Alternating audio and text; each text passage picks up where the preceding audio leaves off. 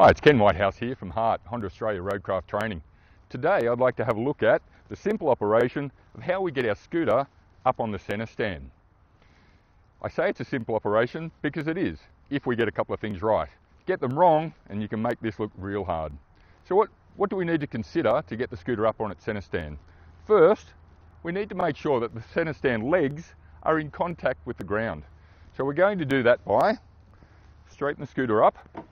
I'm going to place my foot on the centre stand pad and press it down to the ground. I'm facing forwards, same way as the scooter, and I just gently rock the scooter from side to side to make sure it's balanced on the two legs. My left hand uses no effort at all. It's only to guide the handlebars.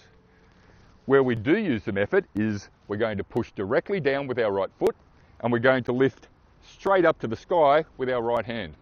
Our right hand is placed at the grab rail towards the back of the scooter. Now, as I, in conjunction, push down with my foot and lift up with my hand, the scooter comes up and slightly moves backwards. It does that on its own. We just need to think about pushing down with our foot and directly up with our hands. Make sure you keep your head up for balance. And now the scooter's up on its center stand. Now let's have a look at how we roll the scooter off the center stand. This can be done uh, with two methods. We could do it standing beside the scooter. The other is we could be straddling the scooter for a little extra stability. The first one, standing by the side. Two hands on the handlebars. Left hand out over the rear brake so that we control the roll of the scooter as it comes off the stand. A couple of little gentle rocks back and forward and then just a little extra effort on one push. Rolls off the stand, control the roll with the rear brake. The other way is straddling the bike. Let's put it back up on the center stand. Center, center stand feet on the ground, push down with the leg, up with the hands, and it's up. Now, straddle the bike, both feet on the ground, left hand out over the rear brake lever, little rocks backward and forward, little extra effort and push, and it rolls off the center stand. Nice and easy. Now when we move our scooter around, we always recommend that you do it without the motor on, but every now and again you might find that due to terrain or other circumstances, you might need the motor to assist you when you're pushing your scooter. If we're going to do this, we need to make sure of a couple of things. First off, we want to make sure that we don't over accelerate. So by keeping our wrist low, it should overcome the chance of doing that. We need to make sure we control the speed. So as we are pushing the scooter with the motor assisting, a little bit of rear brake to control the speed. The other thing that we need to do is make sure we keep our head up and always look where we want the scooter to go. So let's have a look at that. We'll start the scooter up, make sure your side stands up, key on, rear brake and start. Wrist nice and low, rear brake on, head up looking where I want to go, small amount of accelerator and ease the rear brake. Keeping the scooter slightly leant towards you so you don't overbalance.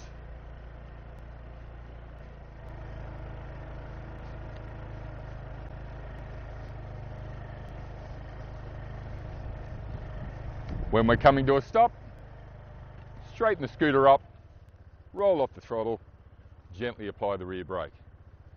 Now turn the motor off. It looks quite simple, but it can get away from you. Follow those tips and it shouldn't. So let's recap the main points of what we've been looking at. First off, to get the scooter up onto the centre stand, we need to make sure the two centre stand legs are in contact with the ground. The left hand is just to guide the handlebars. We push straight down with our foot in conjunction with lifting straight up with our right hand. The scooter comes up and back. To take the scooter off the centre stand, Two methods, by the way, both of them should be done with the motor off. The first one, left hand side, keeping your head up for balance. Cover the rear brake so as the scooter rolls off you can control the speed. A couple of rocks gently back and forward, little extra effort forward and the scooter rolls off. The other way is to be straddling the bike for a little bit more stability. Once again, two hands over the bars, covering the rear brake, a couple of little rocks back and forward, little extra effort, the bike will roll off and control the speed with the rear brake. The other thing we looked at is motor assisted pushing of the bike.